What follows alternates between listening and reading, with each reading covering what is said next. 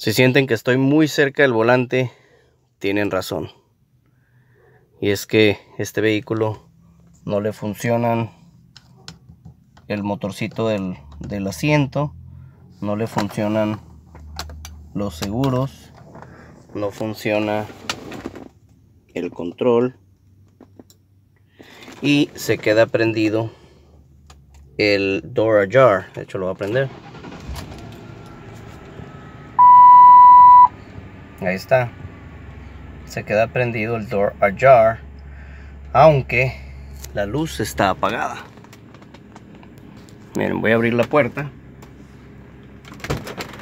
Ahí prendió. Ahí lo voy a cerrar. Y ahí va apagando. Ok. Va de nuevo. Está abierta. Me está pidiendo que me ponga el cinturón. Pero bueno. Ahí está la puerta. Vamos a abrir la, puerta.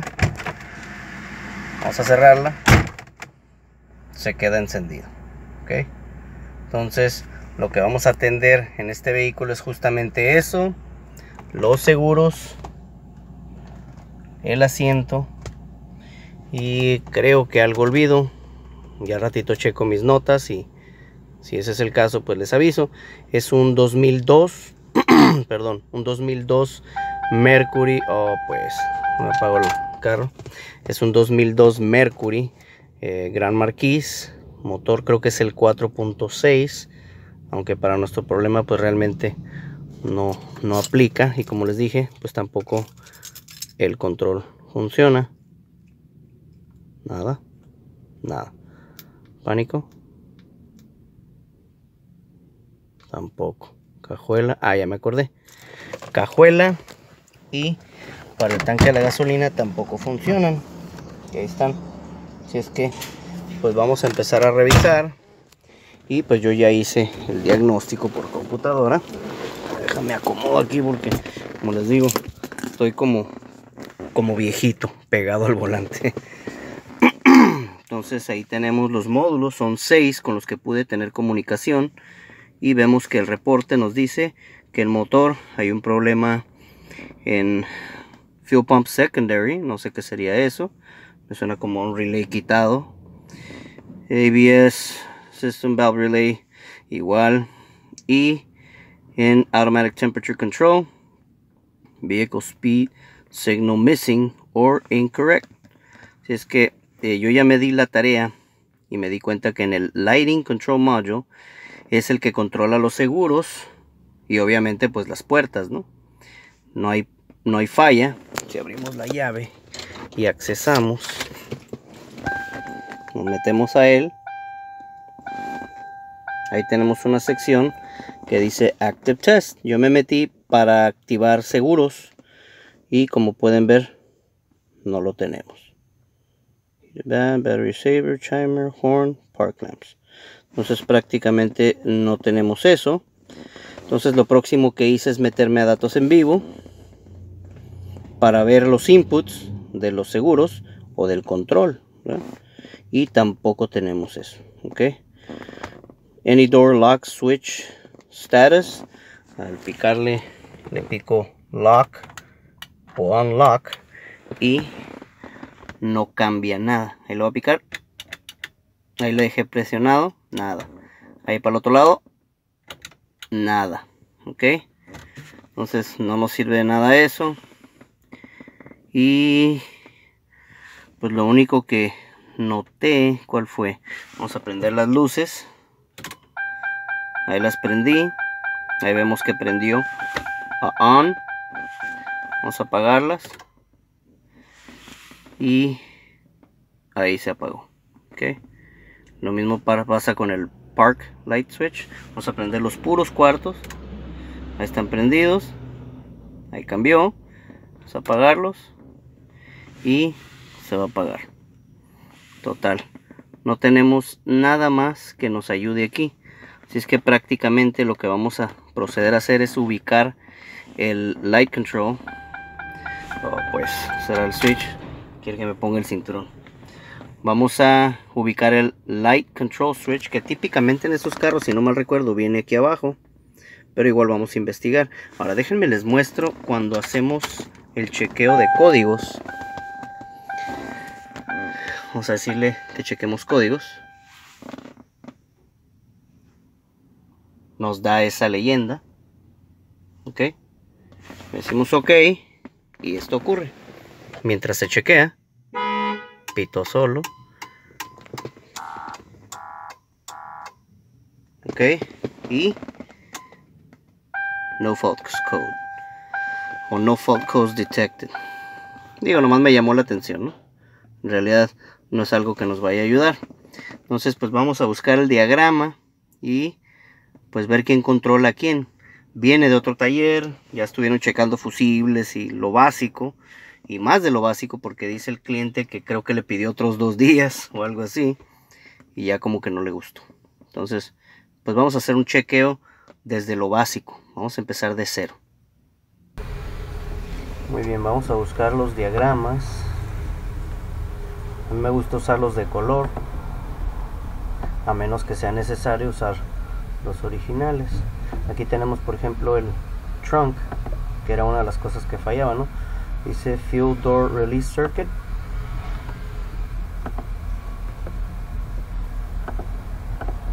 Ahí está el switch.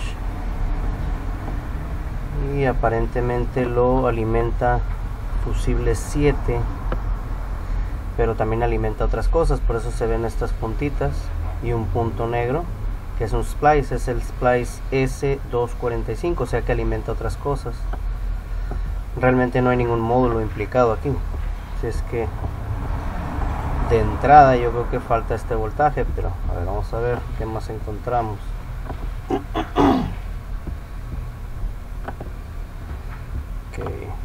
Vamos a ver.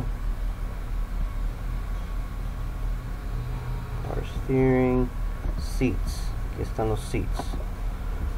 Tenemos un con lumber. Este es el que tenemos.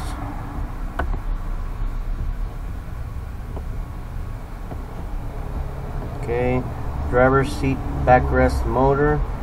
Left Power Seat Motor Assembly. Este, este, es el, este es el motor del asiento del conductor.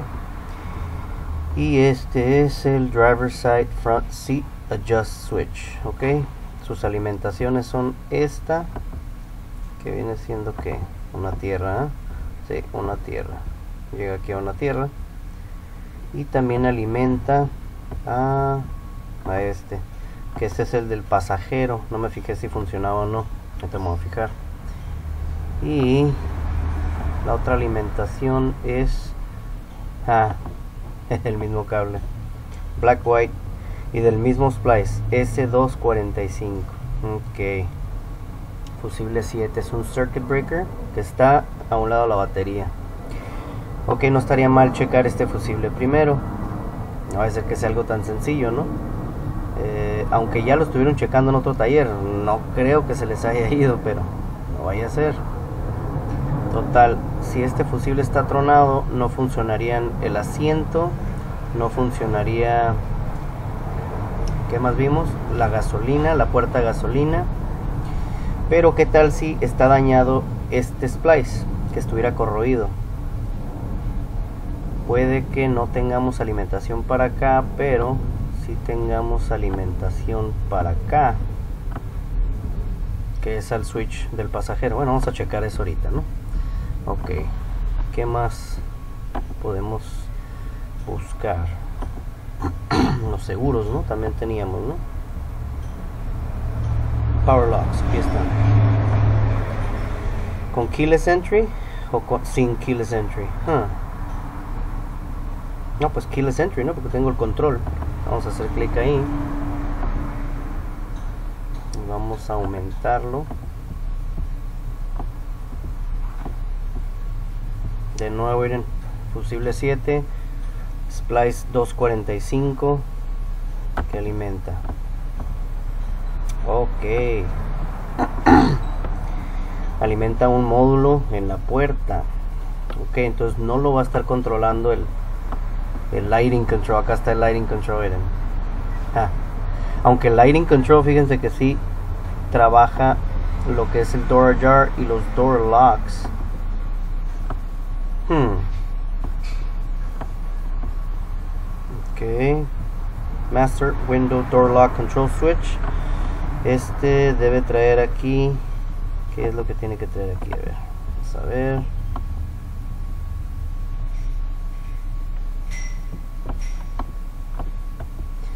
Viene el fusible 23. Caliente todo el tiempo. Entonces debe traer voltaje. Aquí. Debe traer voltaje. Y cuando uno presiona el switch, este hace contacto con este para unlock y entonces pasa el voltaje de este y pasa para acá y se lo manda a al passenger o que no se lo manda al passenger sino que los dos están interconectados y llegan a el driver door module. Bueno creo que ya queremos investigar este fusible.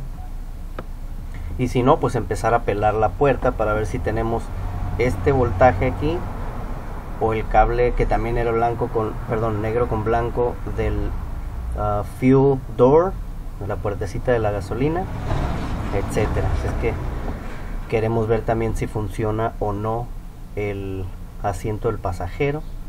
Bueno ya tenemos un norte no todo tiene una conexión o están interconectados. Vamos al carro. Ok aquí están los cables. Vamos a checar el del seguro. Aquí está el seguro. Y aquí está el cable verde con amarillo. Ahí está el voltaje y estos al darle al switch a ver si puedo hacerlo con una mano. Y este otro para arriba. Bueno me entienden no no puedo. Total el detalle es de que aquí está el cable negro con blanco y no trae voltaje. Este no trae voltaje. Entonces si le inyectamos voltaje que para empezar déjenme muevo este ok si le inyectamos voltaje aquí y le damos el asiento mueve ok eh, no lo puedo hacer con las dos manos, pero ya lo hice. Así es que este, pues voy a mover el asiento para que no me estorbe tanto. Pero ya tenemos un punto de referencia. Ya chequé el de allá también. No funciona tampoco. Entonces puede que solo sea coincidencia, pero pues vamos a seguir trabajando. Ok, ahora estoy usando el Power Pro Hook porque tiene la función de que active el voltaje, le quité el volumen. Ok. Pero ahí pueden ver el LED rojo, pico y queda tirando voltaje. Quiero mostrarles todo lo que funciona ya. Hacer esto, activarlo. Ahí está. Vamos a ver.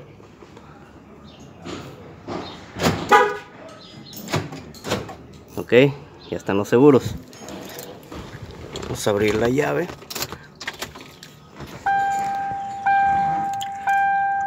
ya se apagó el foco. Y puede que se pregunten, pero tienes la puerta abierta. en realidad, ¿no? Cierro el cangrejo. ¿Ok? Pero también fallaban este y este, ¿no? Ok, va la gasolina. Está. Y la cajuela. Ahí está. Entonces, todo lo que el cliente nos dijo que fallaba es debido a que ese cable no tiene voltaje. Ahora, cuando le inyecto voltaje ahí, también funciona ya el asiento. Déjame ver si alcanzo. Estoy bien panzón. Ahí va. Ok. Ahí va para atrás. Va para enfrente. Ok. Ya funciona todo. Así es que mi pregunta sería, ¿estoy alimentando de ahí hacia atrás? o ahí hay un punto de unión o qué vamos a cerrar la llave quiere que me ponga el cinturón pero no me lo voy a poner me voy a revelar pues ni modo como dije vamos a desarmar vamos a desarmar la manguera. Y si no pues vamos a desarmar aquí. Y si no pues vamos a ir hacia el vehículo etcétera etcétera. Ok, como pueden ver, o no sé si alcancen a ver o no, estoy conectado en el cable negro con blanco. Ok, aquí tengo el Power Probe. Y tengo también mi testeador Caimana chasis. Vamos a tocar el mismo cable. Ahí lo tocamos. Y ahí cambio. Ahí lo voy a soltar. Ahí lo solté. Ok. Eh, otra cosa que podemos hacer es picar aquí. Vamos a dejarlo ahí. Y presionar el voltaje. Ahí está. Ok. Entonces, este cable está íntegro hasta aquí. Entonces, aquí no está el problema. El problema está hacia allá. El problema es que, bueno, ya desarmé aquí un poco. Y honestamente, híjola, va a estar medio difícil accesar aquí. Ahí se ve el cableado que sale de ahí. Déjame ver si los puedo mostrar. No, no a poder mostrar. Bueno, a ver, vamos con el vértigo. Me dieron carrilla con el vértigo. Ahí les va. Otro vértigo. Ahí está. Ese es el cableado. Ahí podemos ver. Está bien inaccesible. Eh, uno, trabajar en él. Y dos, mostrárselos. Así es que, pues voy a, tratar de sacarle la vuelta. Yo pienso que me voy a ir al portafusible. No va a ser que allá esté el problema y yo acá batallando, ¿no? Total. Vamos a ver qué pasa. Acompáñenme y masquen un chicle. Ok, cambié al Power Pro 3 porque es más sensible. Eh, lo que hice es conectarme al mismo cable. Pueden ver, estoy conectado a donde mismo. Ok, curioso. Vemos 2.5 voltios, casi como si fuera un módulo, ¿no? Total. Este, déjenme les muestro qué tan tan sensible es este. Vamos a poner mismo testedor este en cuanto lo pongo ahí va, ¿eh? ok de nuevo lo que queremos hacer es empezar a manipular arneses donde pensemos o sospechemos que está el problema y queremos oír que se vaya a 12 voltios. Si es que pues voy a hacer eso. Ok lo primerito que hice es checar este, este fuse breaker está bueno pero por sí o por no puenteé de allí allí y tenemos 3.2 voltios los cables pasan hacia allá abajo ahí va. Vértigo, ¿eh? Ahí va el vértigo. Famoso vértigo. Ahí viene el cableado. Y pongo la lámpara aquí. Y buscamos áreas raras. Estamos moviendo y esperando que, que pite el Power Pro. La verdad se ve muy entero, ¿eh? honestamente. Ahí va arriba. aquí viene el cableado en este conducto ahí va ahí va sigue yendo ahí una sección pasa por aquí y pasa por el splash shield que probablemente voy a quitar y la otra sección pues va hacia el motor ya estuve manipulando todo y nada así es que Voy a seguir masticando chicle. Ok, no voy a quitar el splash shield eh, porque por aquí salen los cables. El splash shield es de todo lo que cubre aquí, ¿eh? Yo sé que me van a preguntar luego, ¿qué es splash shield? ya saben, ¿no? Spanglish. Total, este, pues por ahí salen los cables y ya ubiqué el cable negro con blanco. Déjame ver si los puedo mostrar. ahí lo limpié un poquito lo ven ahí vamos a checar a ver si hay voltaje ahí ok estamos conectados y para sorpresa mía es otro cable ok. De hecho si lo quito y lo checo con el testeador el testeador si enciende. A ver si puedo hacerlo.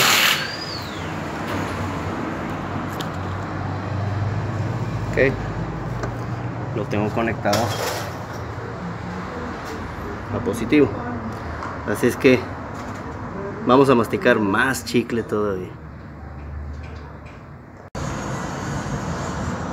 Ok si voy a tener que quitar el splash shield. Ahí está el problema ¿verdad?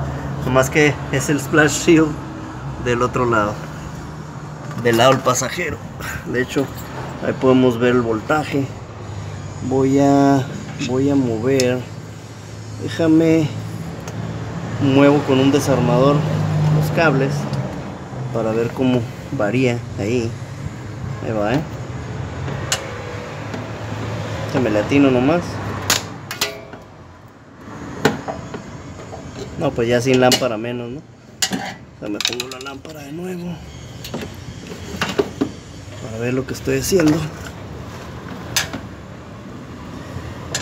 Ok y vamos a moverlo. Ah, casi lo alcanzo casi lo alcanzo. Ahí está. Ahí, vamos, ahí lo moví. Ya no hay continuidad. Es que ah, pues ni modo. A desarmar el splash shield del lado del pasajero. Ok está desarmado y aquí está la falla de hecho si lo jalamos no pues aunque lo jalemos ¿no? ya no le queda nada. Déjame le bajo un poquito la luz a ver si se alcanza a ver mejor. Ahí está. Total pues vamos a, reparar ese gran daño parece que entró agua aquí. Así es que pues bueno. Ok aquí está ahora sí ya lo vemos un poquito más claro de hecho ahí está este, todos los demás se ven manchaditos, pero no están dañados. Ya los estuve viendo. Entonces realmente nomás vamos a cambiar este. Eh, pues a lo mejor soldarlo sería bueno, pero como hay mucha humedad, le va a pasar lo mismo. Entonces lo que pienso hacer es usar uno de estos. Este, eh, aparte de ahí a presionarlo, eh, al calentarlo le sale una goma y sella el cable. ¿Por qué? Porque estamos aquí donde charpea bastante agua y se ve luego, luego. Entonces, este, pues es lo que vamos a hacer. Ahí está la gomita que le salió. Ahora ya nomás vamos a entapar todo el mazo. Y este, y pues ya, empezar a tapar todo. Ahí está reparado ya. Ya nomás es cuestión de tapar. Pues bueno, ya cerramos todo. Todo funciona. Ya tenemos la manguerita bien puesta. Todo bien puestecito. Seguros abrir y cerrar. Prendo el carro. Puerta cerrada. Voy a abrirla. Voy a cerrarla. Ok entonces ya todo está funcionando como DVD ahora lo único que quiero es ver si aquí no tenemos ningún módulo de puerta. Recuerden que hay un módulo aquí y ese fue el problema. Así es que ¿qué les parece si nos salimos de aquí y hacemos un autoescaneo de nuevo a ver si aparece la puerta que sospecho yo debería de y ahí es donde deberíamos de poder controlar los seguros se acuerdan que estuvimos viendo el módulo de luces que pensábamos que era el del el que controlaba bueno quizás sí sea el que lo controla pero parece ser que a lo mejor el módulo de la puerta es el que lo hace. Y pues mientras estoy aquí hable y hable, ya apareció. Driver's Door Module, ¿ok? Este video espero les sea útil eh, para qué dirección tomar, ¿ok? Hacemos un diagnóstico y a veces es difícil eh, buscar o encontrar un camino. Es muy fácil perdernos, no enfocarnos. Así es que, déjenme cierro la llave, quiere que me ponga el cinturón otra vez. Total, espero que este video les haya gustado. Eh, aquí está el módulo, es más, podemos, más por, por ver si, si es que podemos accesar, active, active test.